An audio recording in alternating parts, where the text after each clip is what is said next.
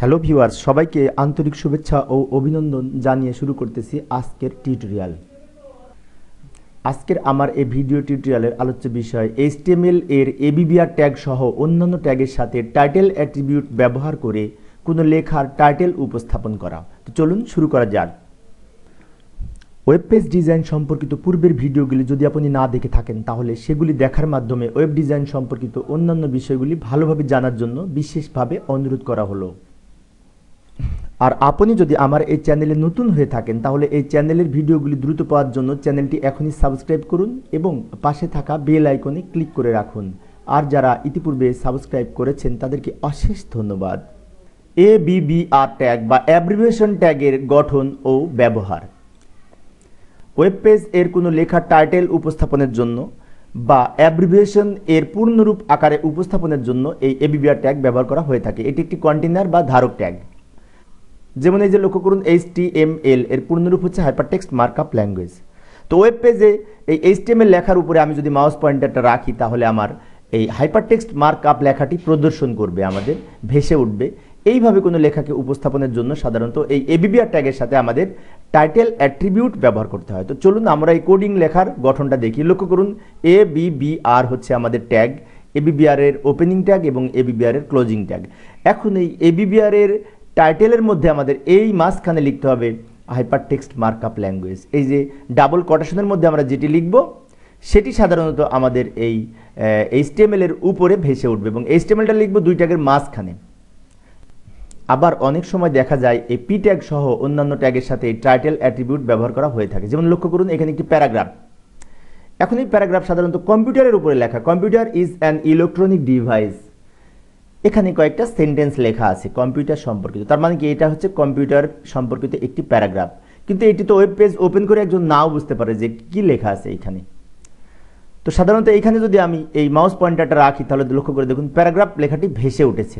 তো তাহলে আমাদের এই যে প্যারাগ্রাফ লেখাটি এখানে আমি মাউস পয়েন্টার লেখার উপরে রাখার সাথে সাথে মাউস পয়েন্টার এর উপরে আমাদের এই প্যারাগ্রাফ লেখাটি ভেসে উঠল। এই ধরনের লেখা উপস্থাপনের জন্য এই পি ট্যাগের সাথে টাইটেল অ্যাট্রিবিউট ব্যবহার করে আমরা এই ধরনের লেখা উপস্থাপন করতে পারি। তো তাহলে পিট্যাগের সাথে আমরা টাইটেল কীভাবে লিখব সেটি দেখার চেষ্টা করি। এই যে লক্ষ্য করুন, একটি প্যারাগ্রাফ, উপরের প্যারাগ্রাফটি আমি উপস্থাপন করেছি এবং এইখানে প্রথমে আমরা জানি, শুরুতে পি লিখব এবং শেষে পি লিখব, পূর্বে দেখিয়েছি প্যারাগ্রাফ লেখার সময়। তাহলে গঠনটা কি হবে? গঠনটা হবে প্রথমে পি ট্যাগ লিখব। পি ট্যাগের এই যে ওপেনিং ট্যাগ এখানে হচ্ছে আমাদের অ্যাঙ্গেল ব্র্যাকেট এখানেও আমাদের হচ্ছে অ্যাঙ্গেল ব্র্যাকেট এবং মাঝখানে যে পি ট্যাগ, পি ট্যাগের সাথে টাইটেল ইকুয়াল টু প্যারাগ্রাফ অর্থাৎ আমাদের এখানে যে লেখাটি ভেসে উঠবে, যে এখানে যেটি ভেসে উঠবে, সেইটা আমাদের এই টাইটেল ইকুয়াল টু দিয়ে মাঝখানে লিখতে হবে কিন্তু, বিশেষ করে গঠনের ক্ষেত্রে। তো এই ক্ষেত্রে মনে রাখতে হবে আমাদের ওপেনিং পি ট্যাগের সাথে টাইটেল হচ্ছে আমাদের অ্যাট্রিবিউট টাইটেল ইকুয়াল টু এখানে যেটি লিখব, প্রদর্শন করবে যেটি, সেটি আমাদের এই মাঝখানে এই ডাবল কোটেশনের মধ্যে লিখতে হবে, এই টাইটেল অ্যাট্রিবিউট এর ভ্যালু হিসেবে। তো চলুন আমরা এই নোটপ্যাড ব্যবহার করে এগুলি বাস্তবে আরও ভালোভাবে বোঝার চেষ্টা করি। তো এই যে দেখুন, পূর্বের ন্যায় আমরা নোটপ্যাডটি ওপেন করেছি এবং আমরা একটি ফাইলের নাম দিই। একটি নতুন ফাইলের নাম দিয়ে আমরা সেভ করি। মনে করি web page four web page four dot HTML দিতে হবে। আমরা জানি যে এই ফাইলের নামে শেষে ডট এইচটিএম অথবা ডট এইচটিএমএল লিখতে হবে আমাদের এবং ডেস্কটপ সিলেক্ট করে আমরা সেভ করি। ডেস্কটপে তাহলে সেভ হবে। তো সেভ পরে করলে হয়তো প্রথমে করাই উত্তম। তো এবার আমরা কোড লিখব। এইচটিএমএল এর ওপেনিং ট্যাগ ক্লোজিং ট্যাগ আমরা লিখলাম এবং এই এইচটিএমএল এর মাঝখানে আমরা হেড টাইটেল বডি এই ট্যাগগুলি মৌলিক ট্যাগ হিসেবে আমরা লিখব। তো এই টাইটেলের মধ্যে আমরা একটা নাম দিই, মনে করে লিখি যে web page four web page four এই আমাদের এই টাইটেলের নাম দিলাম এবং বডির মধ্যে আমরা এবিবিআর ট্যাগ ব্যবহার করব। এবিবিআর এবং এবিবিআর এর ক্লোজিং ট্যাগ এখানে আমরা মনে করে লিখি যে র্যাম লিখি। আর এ এম র্যাম তো র্যাম লেখার পরে এবার যদি আমরা সেভ করি এবং সেভ করার পরে, এবার যদি আমরা সেভ করি সেভ করার পরে যদি আমরা পেজটা দেখতে চাই, তাহলে ওই পেজ ফোর নামে আমি সেভ করেছিলাম। এই যে র্যাম লেখাটি প্রদর্শন করেছে। এখন এইখানে দেখুন, এইখানে যদি আমি মাউসের কাজটা রাখি, তাহলে কিন্তু র্যামের পূর্ণরূপ প্রদর্শন করছে না। কিন্তু আমরা যদি এই লেখাটির র্যাম এর পূর্ণরূপ কি, এটা যদি ওয়েব পেজে আমি প্রদর্শন করাতে চাই, এই মাউস রাখার সাথে সাথে সেটি প্রদর্শন করাতে চাই, তাহলে আমাকে এই টাইটেল অ্যাট্রিবিউট ব্যবহার করে আমাদের এখানে লিখতে হবে যে এই এবিবিআর এর ওপেনিং ট্যাগের সাথে আমাদের টাইটেল অ্যাট্রিবিউট ব্যবহার করতে হবে।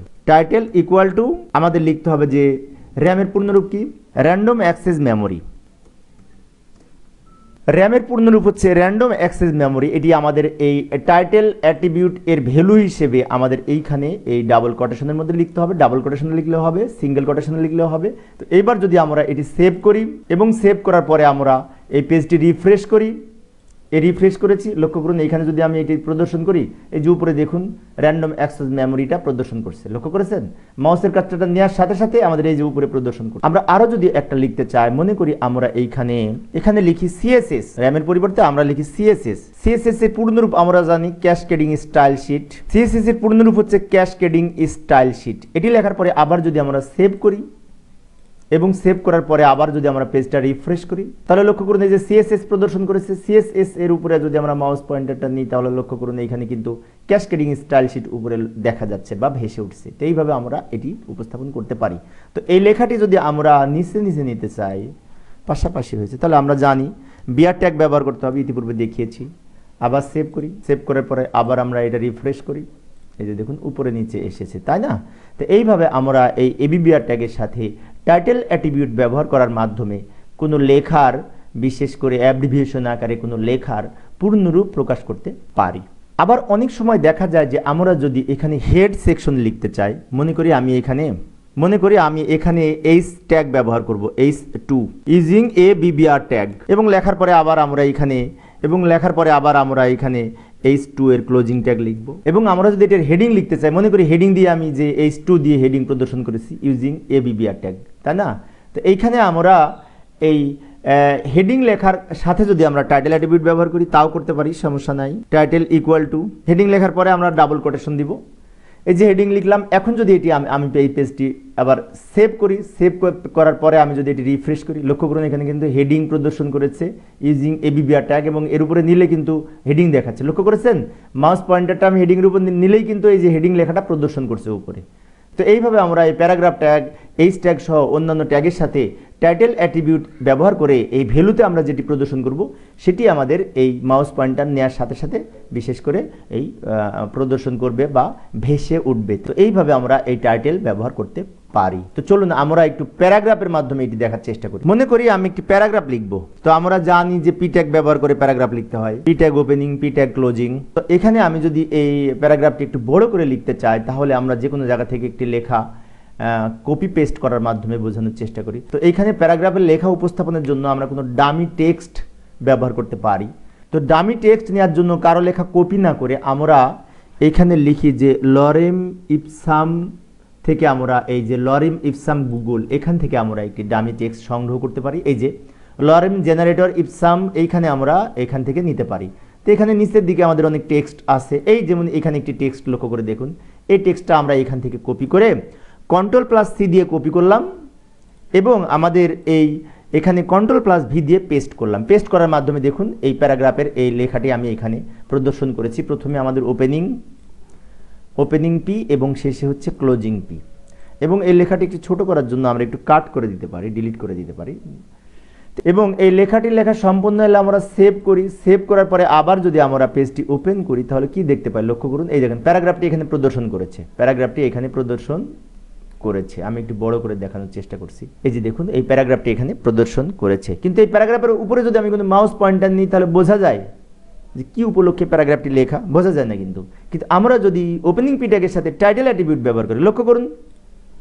এই যে দেখুন ওপেনিং পিট্যাগের সাথে আমি টাইটেল অ্যাট্রিবিউট ব্যবহার করি। টিআই টিএলই ইকুয়াল টু আমি লিখি ডাবল কোটেশনের মধ্যে this is paragraph this is paragraph এই কথাটি যদি লিখি, তাহলে দেখুন পি ট্যাগের ওপেনিং এটা উপরে লেখা পি ট্যাগের ওপেনিং নিচে কি? পি ট্যাগ ক্লোজিং কিন্তু আমি ওপেনিং ট্যাগের সাথে কী লিখলাম? দিস ইজ প্যারাগ্রাফ কোথায় লিখলাম? টাইটেল অ্যাট্রিবিউটের ভ্যালু হিসেবে। তো এখন আমি আবার সেভ করি।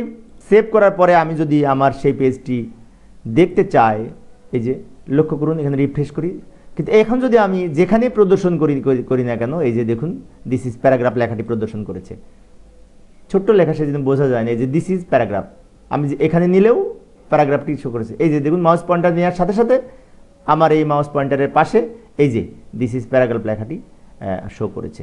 তো এইভাবে আমরা কোনো তথ্যের উপরে যদি আমরা এই মাউস পয়েন্টার নেওয়ার সাথে সাথে এই তথ্যটা কি সেটি ভেসে উঠবে বা উপস্থাপন করবে টাইটেল আকারে এইভাবে উপস্থাপন করার জন্য, আমরা যে কোনো ট্যাগের সাথে পি ট্যাগ বলুন এইচ ট্যাগ বলুন বা অন্যান্য ট্যাগ বলুন, যে কোনো ট্যাগের সাথে আমরা যদি টাইটেল অ্যাট্রিবিউট ব্যবহার করি বাম দিকে আমরা লিখব টাইটেল আর ডান দিকে লিখব আমরা যেটি দেখতে চাই বা যেটি ভেসে উঠবে প্যারাগ্রাফের উপরে, সেই কথাটা আমরা কিন্তু এই ডাবল কোটেশনের মধ্যে ভ্যালু হিসেবে লিখব।